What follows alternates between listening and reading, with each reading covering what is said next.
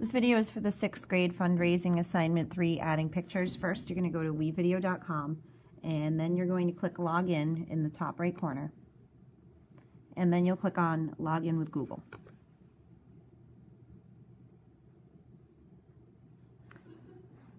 And from here, what you're going to do is you're going to rest your pointer over your work and click on continue editing.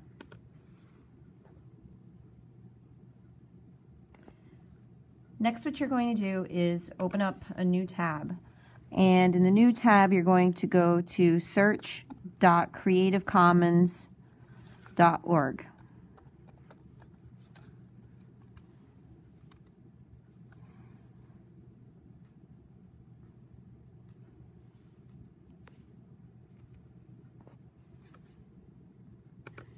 Next, what you're going to do is click on Google Images and then you're going to type what you want to search for. And make sure that both of the check marks is, are, are checked off.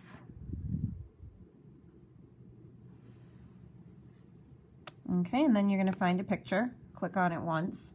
And then put your pointer on it, and you're going to two finger click on your touchpad and choose Save Image As.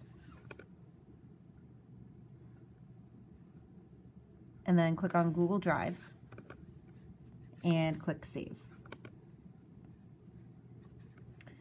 Next, you're going to click back over to the WeVideo tab and you're going to click on the media folder. Click on the green arrow to upload the picture. And then you're going to click on Browse to Select. And then you'll click on Google Drive. And I happen to have a bunch of folders, but um, hopefully you'll see your picture right away. And you'll click on it and click on open. Then click on upload.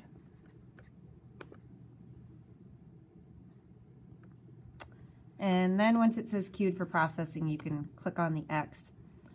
And I happen to have a bunch of files here, but um, there we go. There's our picture. So then what you're going to do is you're going to click and drag your picture to appear in the video one section of the timeline. You're going to click on it once and then put your pointer at the end and make sure that it ends at the same time as your first text box. So then you'll just continue um, uploading other pictures. So you'll repeat um, going on to Google, two finger clicking, saving the image, and then going over to WeVideo, uploading, and then dragging it into your work. So basically what you want to do, I happen to have a bunch of pictures already saved. So you want to have your pictures going at the same time as your text boxes. So here's another picture and it ends at the same time as our second text box. Um, here's a third picture. We're going to make it end the same time as our third text box just by clicking and dragging it. And then finally um, another picture. And we want that to go as long as our last text box. So um, you basically want everything to match up as far as time is concerned. Um, and you should have everything kind of all lined up and you can just rewind and hit play to make sure. Did you know that 3.9 million dogs are given up to animal shelters each year?